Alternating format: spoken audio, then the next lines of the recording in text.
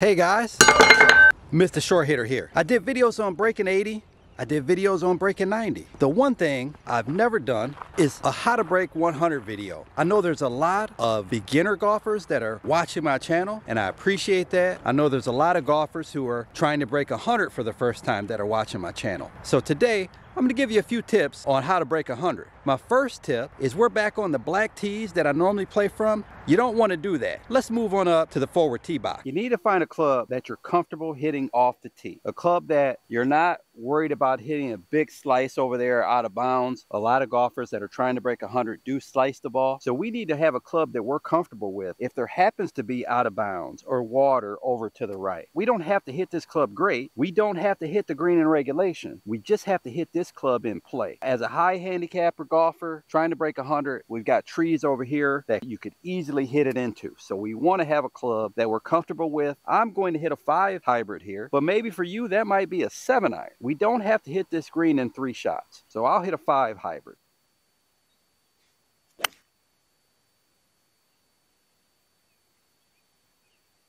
Now, as you can see, that wasn't a very good shot.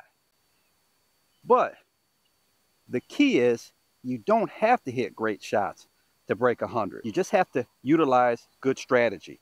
Let's get up there. I ended up in the fairway here, even though I mishit that shot. We've got 137 yards. So one other thing I suggest, you're trying to break 100. You don't need 14 clubs in the bag. You need clubs that you are comfortable with. You don't need 10 yard gaps. You need gaps that you are comfortable with. So we may have, depending on how far you hit it, your driver may go 200 yards. Now you want a club that you can hit 180 would be ideal, but maybe 170, maybe only 160 yards. That'll cover 360 yards. So let's say you have a driver that you can hit 200 yards. Your next club you can hit 170 yards. Well, that's 370. Now your third club, maybe you've got a 150 yard club. But I think 20 yard gaps are fine. So maybe every other club you have in the bag. You just want some clubs that you are very, very comfortable with hitting. I've got 137 yards here. Let's say I had a 170 yard club, 150 yard club, then a 130 yard club. Well, I've got 137. So I would club up if I were you, and I'd hit the 150 yard club. That's what we'll do. So I'm gonna hit a seven iron. That's a 150 yard club. We're not trying to exactly emulate the shots that I hit. The strategy is the same nonetheless. So let's say this pin is over on the right side of that green. I think as a high handicap, you should aim at the fat part of the green. We're gonna give ourselves much more room to work with if we miss the green. So the fat part of the green is the left side. I'm aiming this closer to the left fringe.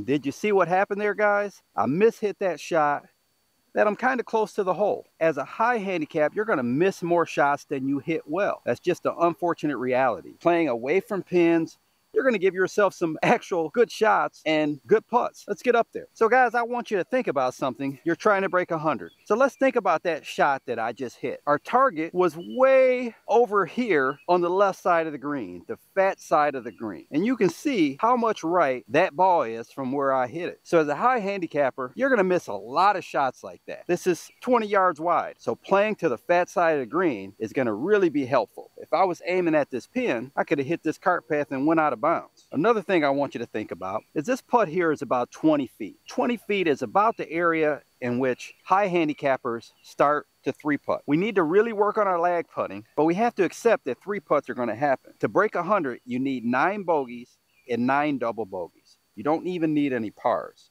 So three putts will happen. We just don't want four putts to happen. You don't really want to be aggressive. Sometimes people get excited when they've got a, a birdie putt or a, or a putt for par and they end up just ramming it and hitting it past and causing themselves a lot of trouble that they don't need to have. So I'm going to cozy this one down.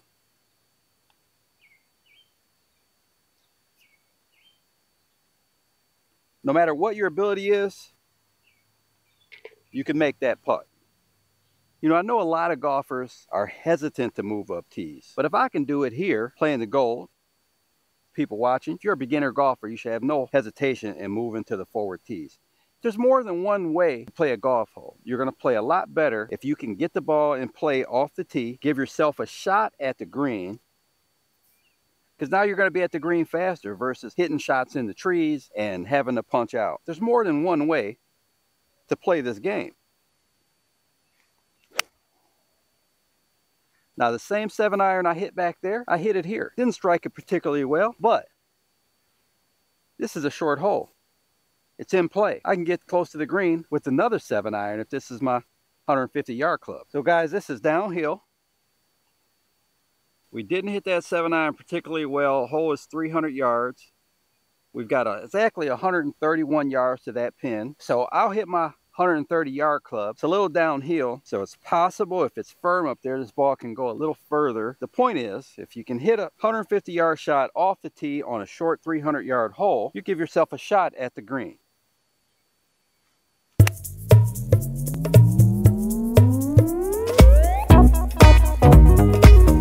Now the green is firm and I went long. So let's go talk about the short game. So guys, this game is about getting it in the hole. I hit a shot there that looked pretty, nice high fade. This ball flew about pin high, bounced over the back of the green. So is it more important to hit a nice high, pretty shot, or is it more important to hit the ball in a good position? Although the pin is in the front, this isn't particularly the shot I want you to have to hit if you're a high handicap. I don't want you to have to go over elevations little ridges. I want you to keep the ball lower as much as you can.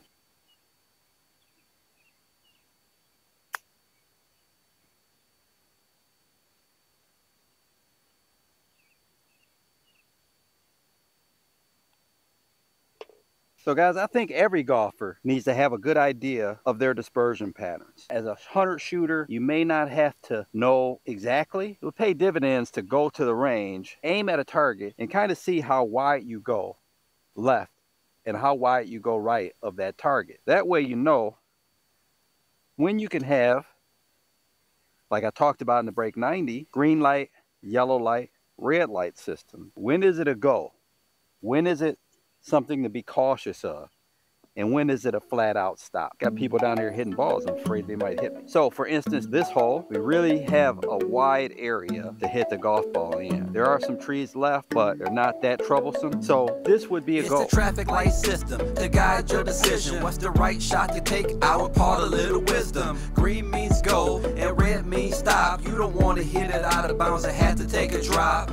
Yeah. Took the right bounce. I'm a proponent of a few different clubs. For this shot here with a good lie, I might just hit a nine iron back in my stance, land it on the green, and let it roll up by the hole.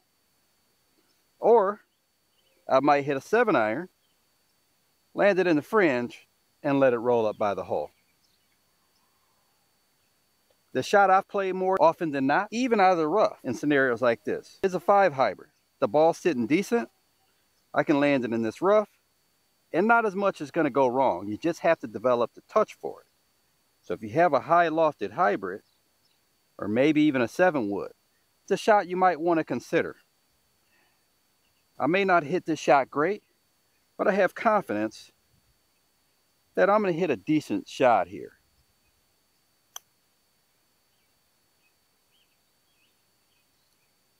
Not a lot can go wrong with that shot when you develop a feel for it. So guys, I'm not going to say be completely emotionless on the golf course. You want to enjoy yourself, have fun, but the people that play competitive rounds with me will tell you you often don't know whether I'm playing great or whether I'm playing horrible because my demeanor on a golf course is not affected by whether this putt goes in or not. I line it up. It'll slow down, think be cautious. One shot in the water and you may be nauseous. The strategy might take you from beginner to a winner. Take it from your new friend, Mr. Short Hitter. If it didn't go in, it's the same result. The only difference is the score. Too many ups and downs is like a roller coaster on a golf course. It's extremely fatiguing. You can't let the results of a bad shot or a bad hole ruin your day. You know, I get comments if I could hit the ball like that or if I had the timing and rhythm that you have, but that's not the point of these videos. I want you guys to remember that this strategy works. The point is picking smart targets, practicing the right part of your game. All these things are going to help lower your score. I'm confident in that. As a matter of fact, I've had comments where guys have lowered their scores, four strokes off their handicap, shot their lowest round, broke 80, broke 90 as a result. If that's you, drop something down in the comment section for me. Let's say I'm trying to break 100. I've got a flag there that's about 150 yards away. And this is kind of a forced carry if you try to go directly at the green. So I'm going to look over here and I'm going to shift my attention leftward. There's a cart sign on the left about 15 feet left of the green. Rather than taking a penalty stroke, I would rather hit the ball over that way. And if I miss hit it, I might again be closer to the pin. I might be short or even long. I still have a chip to where I can possibly chip it on the green make a three or really have a good chance at making a four. If I go in the water, it's almost a definite five if I'm a high handicap golfer. So let's go at the cart sign over here and see what happens.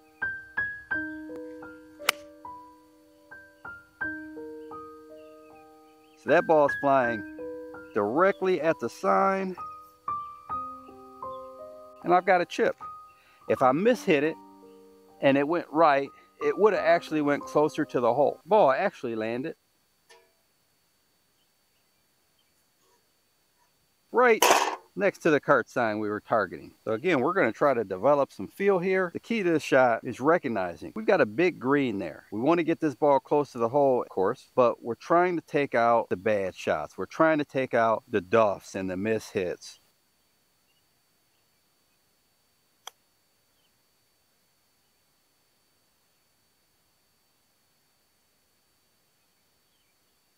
Not a great shot, but that's going to take out the trouble. Remember, our putting is all about pace.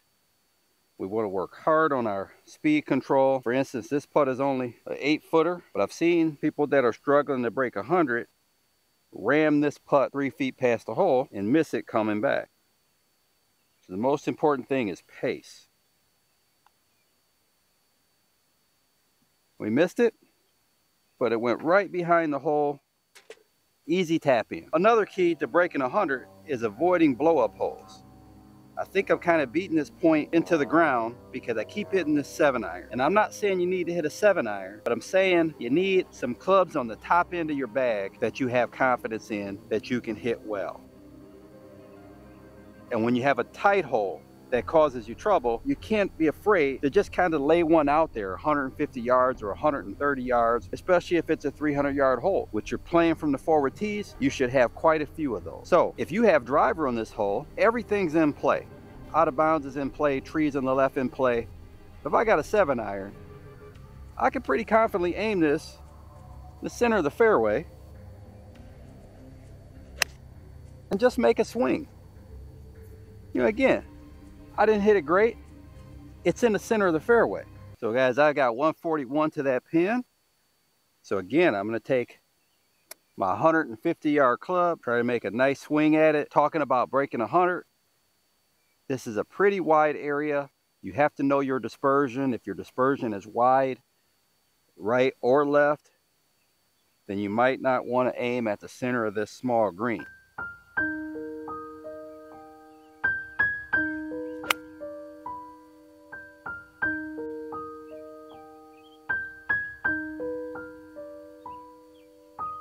So direction is very important when putting. But I'm going to say, if you're trying to break 100, your number one thing is going to be pace. It's going to be a lot easier to miss a putt six feet short or long than six feet right or left. So we're going to try to just cozy this one right down there.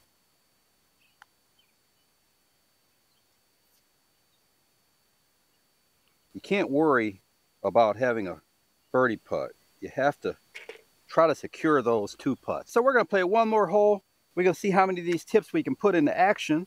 I'm playing a par 4 uphill.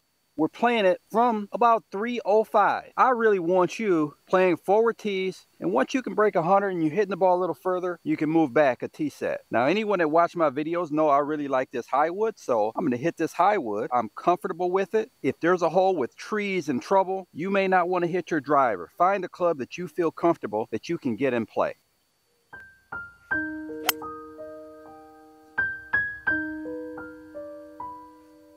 Blue pin. In the back, we've got 121 yards. Remember, we've got 170, 150, and 130 yard club. So we're going to hit our 130 yard club, 9 iron. The pin is maybe a little left of center of the green.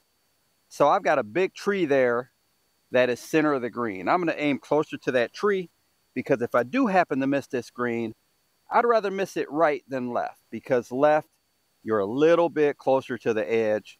And again, we never want to short side ourselves. We never want to force us to have to hit that high soft shot if we don't have to as a high handicap. A little bit right to the tree. So if I miss this green, I will miss it right of the green.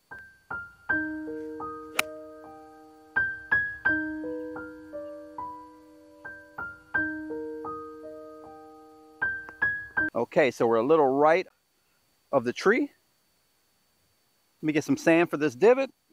We'll get up there. So guys, we hit our 130 yard club. We had 121 yards. Uphill a little bit into the breeze. We're just pin high. We've got a putt that's right to left. This is one of those putts, guys. If you are trying to break 100, this putt could easily get away from you. And again, we're allowing for three putts we're allowing ourselves, if we make three or four three putts in a round, we can still break a hundred.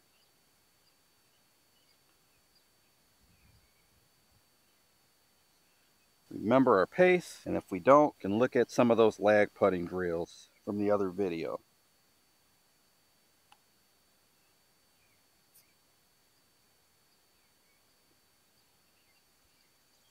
Thought that putt broke a little more than that.